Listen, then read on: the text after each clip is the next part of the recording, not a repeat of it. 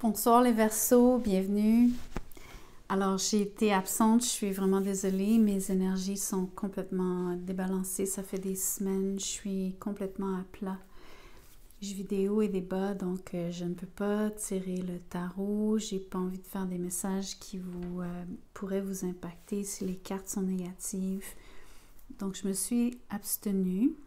Je vous prie de quelque part euh, me pardonner mon retard. Donc, la série qui s'appelle Ce que vous devez savoir devient ce que vous deviez savoir. Le titre va rester parce que les, les thumbnails étaient déjà faits et tout, mais pour que vous euh, le sachiez au moment où on se parle. Puisque avril est terminé, on est le 29.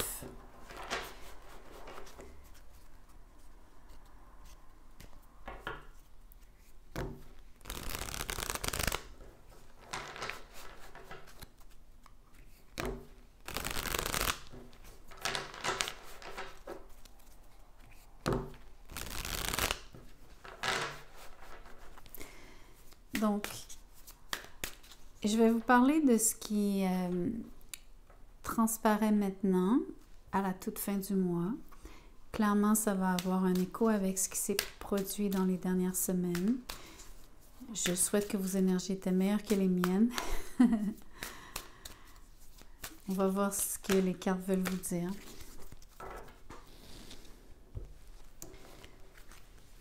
Vous avez le 8 d'épée à l'envers avec le chevalier de bâton, l'as de pentacle et le 4 de coupe.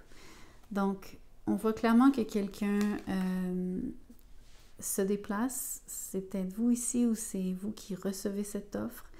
Il y a quelqu'un qui est euh, très fougueux, très beau, très quelqu'un de très attirant en fait, euh, très séducteur aussi. Quelqu'un qui vraiment euh, partager avec vous. Par contre, vous avez deux attitudes. Euh, vous avez des attitudes différentes, en fait. Euh, on dirait que par rapport à la beauté de cette personne, vous êtes dans une situation où est-ce que vous ne réalisez pas... c'est un peu comme vous dire, vous êtes un peu aveugle ou aveuglé. par la beauté de cette personne. On peut voir juste après la posture que vous n'avez pas du tout la même euh, liberté, même en termes de liberté de mouvement.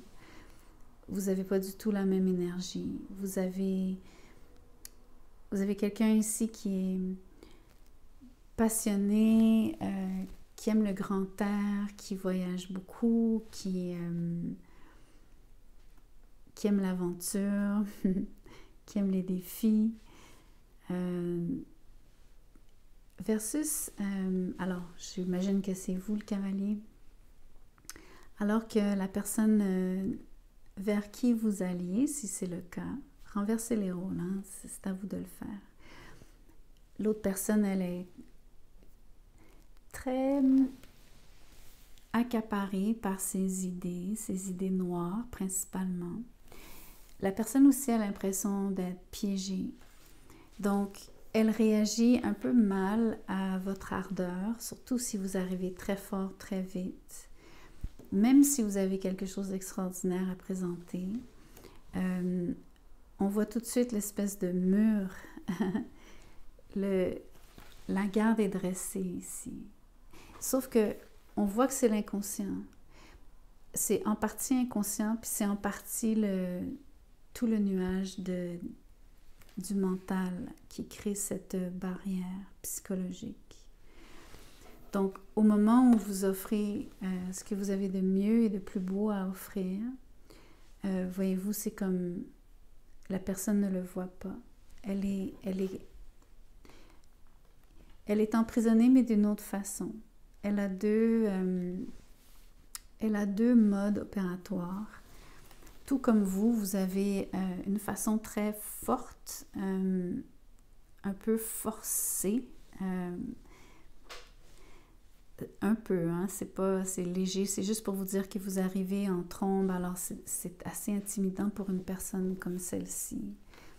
La personne s'est refermée. Et c'est la même chose, même si vous essayez d'être délicat, au final, quand le geste, euh, vous arrivez fort et vite, mais en fait, le geste la, au moment d'échanger euh, a une, un, grand, une grande délicatesse, beaucoup, beaucoup de générosité. On appelle ça le cœur sur la main. Par contre, euh, l'autre ouais, personne, elle est dans... Je veux faire un, lien, même si c'est difficile à faire, je veux faire un lien avec pourquoi la personne est à chaque fois sourde et aveugle. Je pense que vous avez affaire à quelqu'un qui dont les sens sont moins aiguisés que les vôtres. Ça peut être par habitude, ça peut être par euh, pour toutes sortes de raisons, dont les dont tout ce qui encombre son mental. Ici, l'apathie peut venir d'un désordre, peut venir d'un, comme je vous dis, euh, une forme de rejet mais c'est du rejet, euh, c'est comme de l'auto-sabotage ici. Surtout parce que ce qui est en arrière, c'est le... Ce que vous ne voyez pas ici, c'est qu'il faudrait qu'il y ait un petit nuage noir au-dessus de sa tête. vous comprendriez mieux le lien entre les deux cartes.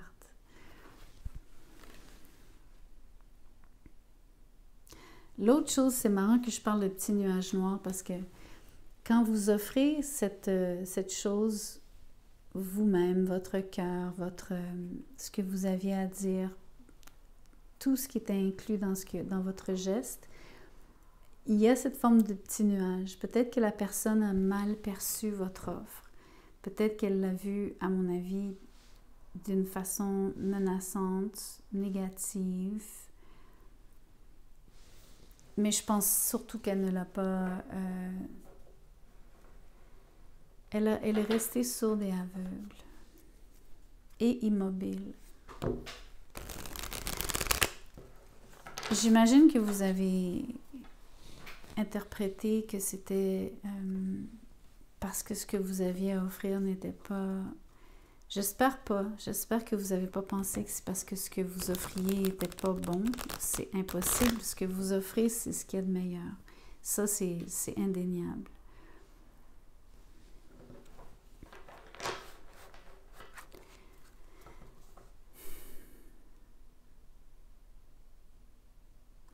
Que je remarque, c'est la posture des bras.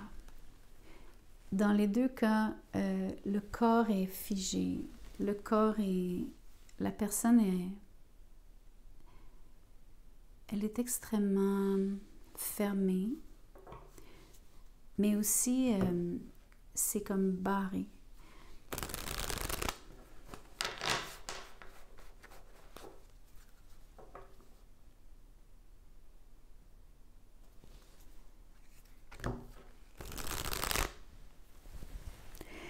J'irais même jusqu'à dire que la personne, euh, elle a vraiment de la difficulté à se dégager. Je ne pense pas qu'elle soit capable de se dégager. Que ce soit au niveau psychologique, parce que ce sont ses idées noires, ou que ce soit son manque de motivation, si vous voulez l'interpréter de cette façon. Son manque d'intérêt, on peut dire aussi. Mais je pense vraiment que la personne a une forme de... C'est presque une forme de handicap.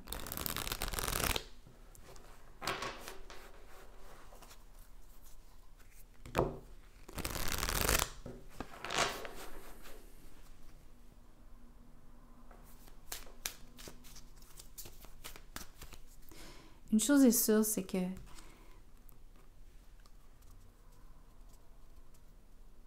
il y a une autre chose qui me frappe, c'est les vêtements. Il y a beaucoup, beaucoup de... c'est très flamboyant ici. La personne euh, de l'autre côté est très simple.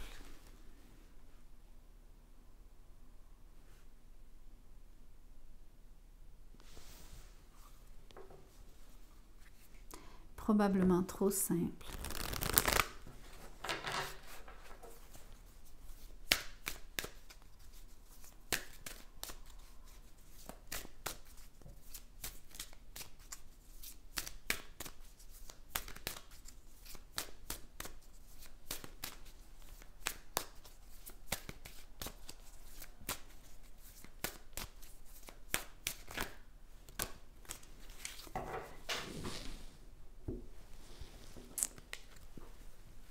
Alors, le 7 de bâton est à l'envers, la roue de fortune à l'envers avec le diable. Ici, vous pouvez, si vous désirez, euh, en fait, on peut interpréter le diable pour les deux personnages. Donc, je pense que vous allez chacun y goûter un peu. je vous explique. Ici, on parle de, désir, on parle de quelqu'un qui souhaite une relation charnelle, c'est quelqu'un qui croque dans la vie, c'est quelqu'un qui aime son corps, qui aime euh, les contacts physiques, qui aime euh, vibrer euh, fort. Je vous ai parlé de l'intensité avec laquelle, si c'est vous, avec laquelle vous avez approché cette personne je crois que c'était très intimidant. Je vous ai expliqué donc que cette personne, à mon avis, a dressé euh, tout de suite ses défenses. Euh, on le voit ici aussi, sauf que la carte est à l'envers. Donc c'est comme un genre de... La personne a peut-être voulu baisser euh, sa garde, mais trop tard. je pense, on peut aussi dire qu'il y a eu beaucoup de difficultés ou beaucoup de lenteur à baisser sa garde à vouloir s'ouvrir.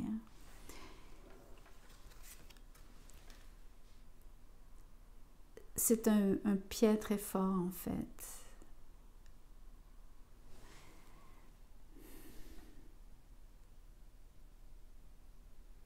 L'autre chose, c'est que pour cette personne-là qui n'a pas su baisser sa garde, euh, vraiment, parce que je ne pense pas qu'elle a fondamentalement été capable d'opérer le changement nécessaire pour vous créer l'ouverture, pour accepter votre offre, pour même peut-être euh, réaliser ce qui était devant elle, il ou elle. Il y a beaucoup d'énergie très noire. Euh, il y a les idées noires dont je parlais. Mais il y a aussi euh,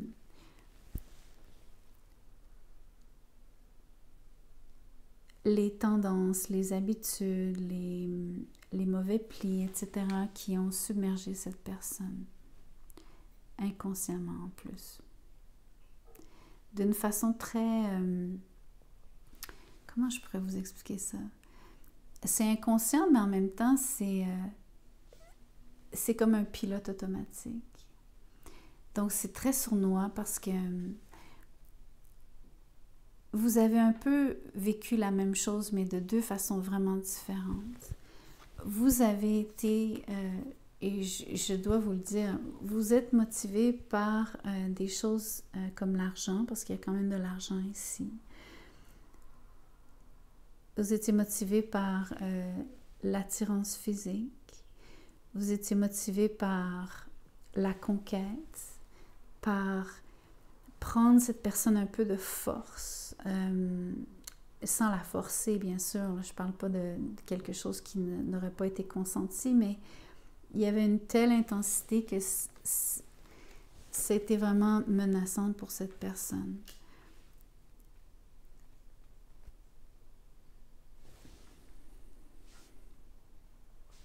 Surtout pour quelqu'un qui, euh, qui est un peu... Euh,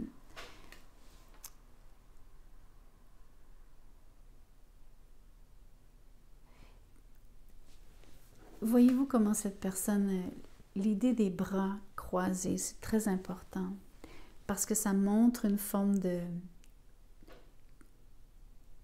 Comme la personne est figée, elle est figée depuis un moment.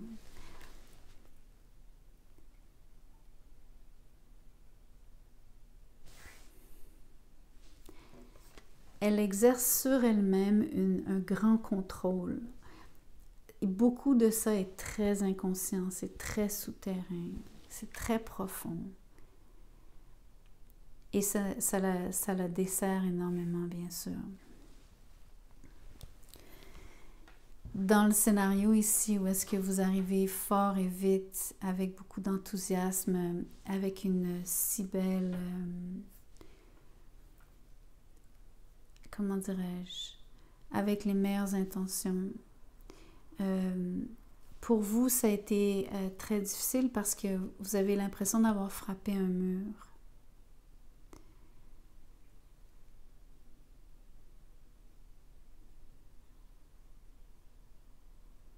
Non seulement ça, c'est que c'est très... Euh, donc, prenez ce que je vais dire avec un grain de sel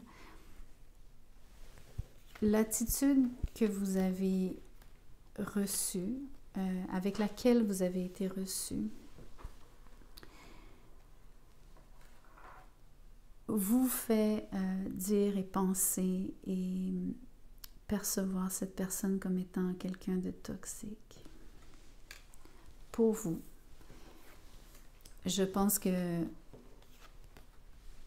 vous avez une, une façon d'être qui... Euh,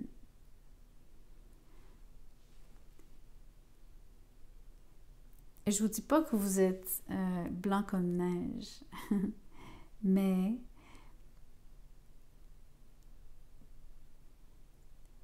en voulant dire peut-être que vous avez vous-même vos, euh, vos, plis, vos façons de faire, vos façons d'être qui sont pas parfaites comme tout le monde en fait.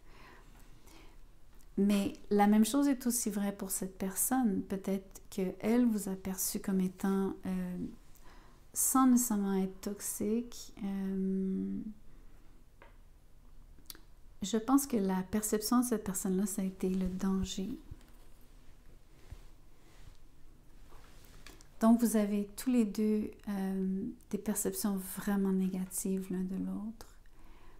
Vous plus qu'elle, euh, dans le sens où vous, vous avez vraiment, je pense, à, à cette étape-ci, peut-être que vous avez même du dégoût. J'irais jusqu'à dire du dégoût. Dans le cas de l'autre personne, c'est différent. Je sens plutôt euh, la peur.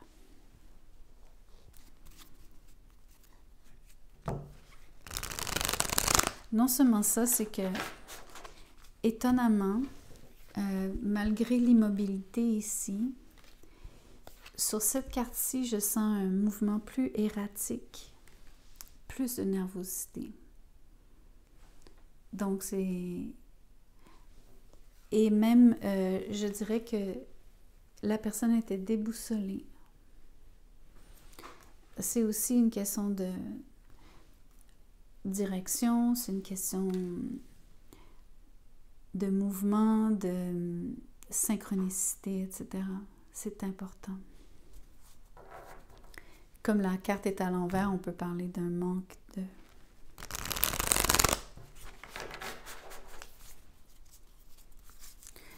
Voyons voir ce qui sort de cet oracle.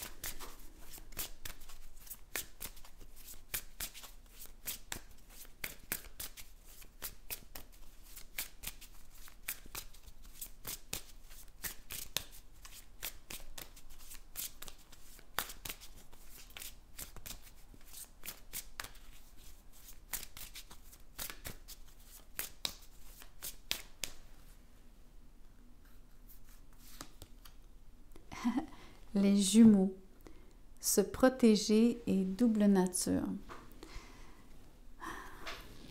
Vous savez, euh, c'est très intéressant comme, euh, comme carte parce que les jumeaux, ben, il y a tellement de vidéos de tarot qui parlent de flammes jumelles.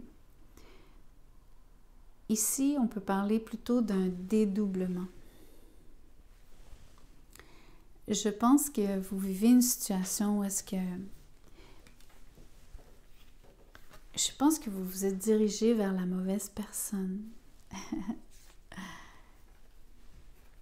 Voyez-vous, euh, vous avez peut-être deux personnes en vue. Vous avez euh, deux personnes miroirs, entre guillemets. Vous avez deux personnes qui, quelque part, résonnent d'une certaine façon avec vous, qui vous fait trouver qu'il y a des similarités. Je pense que vous vous êtes empressé vers ou vous êtes allé au-devant de quelqu'un en espérant euh, trouver de l'ouverture, mais c'est pas ce que vous avez vécu. Et donc, euh, le mur que vous avez frappé, en fait, c'est de découvrir, comme je vous disais, que pour vous, euh, vous étiez tombé sur la mauvaise personne. C'était pas le bon choix. Et on s'entend, euh, c'est personnel à vous. Je pense que, par contre, dans le cas de l'autre personne, je vous ai expliqué que la personne s'est sentie menacée, qu'elle s'est protégée. Je pense que c'est ce que je vous décrivais, la double nature ici, c'est comment elle vous a perçu. Elle vous a perçu en fait... Euh, c'est comme si à l'extérieur, elle voyait quelqu'un de super euh, attirant, comme j'ai dit tantôt, mais avec une telle charge en arrière. Et là, je parle d'une charge électrique, euh, comme une force tellement puissante, euh, tellement souterraine, tellement presque envahissante, que la personne s'est protégée. Mais je crois que malgré son incapacité à voir et entendre, je pense qu'intuitivement, elle vous a jugé. Alors, si elle s'est trompée, c'est une chose. Peut-être qu'elle a bien jugé, mais peut-être qu'elle s'est trompée. Bien sûr que c'est une question de perception ici. Mais la double nature, elle vous a vraiment perçu de deux façons.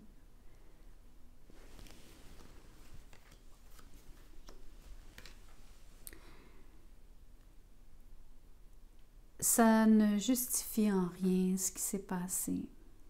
Ça ne justifie en rien le manque de hum, réceptivité à votre égard, sinon que vous avez fait affaire avec quelqu'un qui était prise dans des énergies très basses de peur.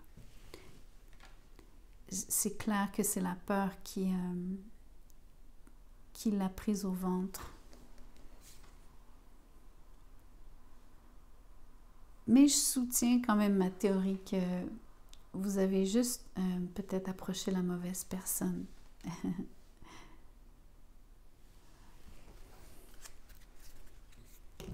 je suis confiante qu'il y a quelqu'un de mieux pour vous.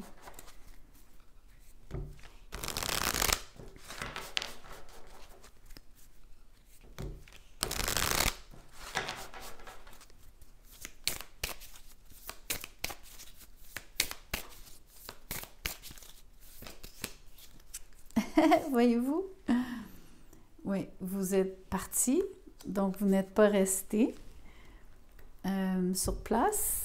Euh, c'est clair que vous avez décidé donc euh, de changer de route, de changer de direction. Ici, vous êtes aidé du compas, donc là où il y a eu des routes qui étaient la déroute de cette personne, mais aussi un peu la vôtre, si vous vous êtes trompé de destination, c'est pas grave, vous repartez et là cette fois-ci vous avez votre compas euh, dans la bonne direction. De toute façon, vous avez, euh, vous avez déjà repéré l'objet de votre désir et vous êtes en chemin. c'est très cute. J'adore.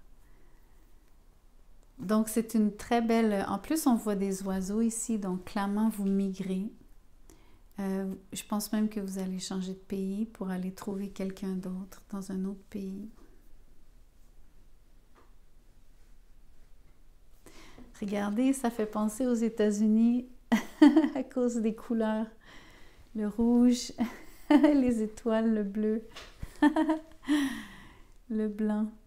C'est un peu jaunâtre à cause de la lune, mais ça fait penser au drapeau américain.